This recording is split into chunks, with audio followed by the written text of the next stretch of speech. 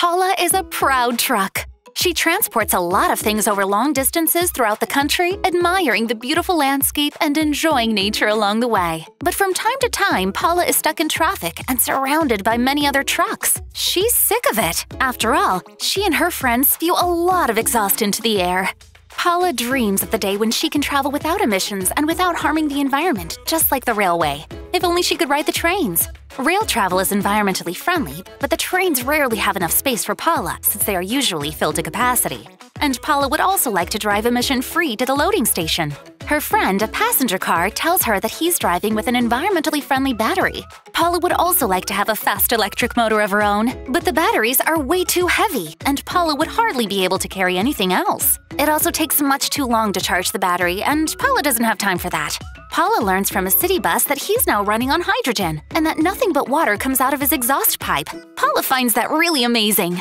She talks to an expedition truck who's traveled all over the world and explains that a lot of emissions are generated in the production of hydrogen and that there isn't nearly enough green hydrogen in the world. In fact, it would be impossible to build enough windmills to fuel all the trucks with hydrogen. She also discovers that it would cost a lot more to fill her tank.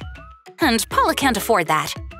While on a break, Paula sees a tractor that runs on biofuel, but the tractor tells her that it's the same problem as with hydrogen. There isn't enough biofuel, and it's almost much too expensive unless you produce it yourself.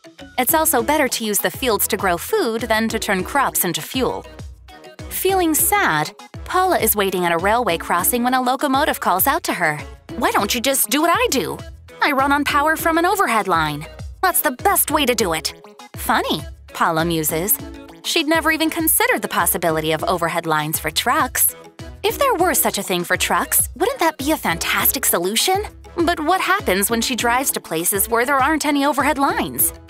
Paula considers the problem, and soon she has an idea. Why not just bring along a small battery or some hydrogen as a backup on those routes? That way, she can zip down the highway and drive everywhere she wants without hauling a heavy load and without it all being much too expensive.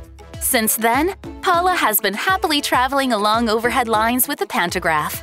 Many other trucks see her drive by and ask a lot of questions. After all, Paula knows her stuff by now. Paula is happy to answer all their questions. She reports that pantographs aren't all that heavy and that overhead lines are much more affordable than you might think.